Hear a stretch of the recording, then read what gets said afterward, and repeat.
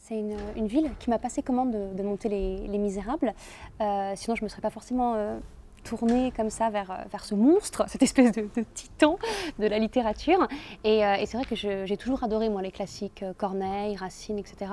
Et je me suis plongée dans l'œuvre d'Hugo et c'est extraordinaire. C'est vrai qu'avec des personnages complètement emblématiques, Cosette, Jean Valjean, les Thénardier. Euh, donc c'était un vrai bonheur de, se plonger là-dedans et d'en faire une adaptation théâtrale. Voilà. Avec le challenge de le faire en 1h30, 1h35.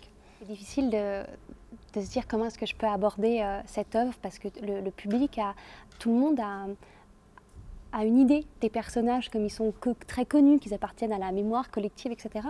Et donc j'ai eu envie de, me centrer sur le personnage de Madame Thénardier parce que tout le monde la connaît. Mais en général, les gens ne savent pas qu'elle meurt pendant le roman. Et donc en fait, j'en fais ma narratrice. C'est elle en fait qui est le fil rouge de la pièce et c'est elle qui va raconter euh, ce qui se passe, qui va raconter les ellipses, etc. Ce qui permet parfois aussi d'avoir un petit peu de recul sur euh, les scènes qui sont, qui sont jouées. Euh, et puis voilà, moi j'ai toujours aimé de multiplier les, les arts, euh, les arts au théâtre. Donc il y, a la, il y a des chants, de la musique, de la danse, des chorégraphies, etc.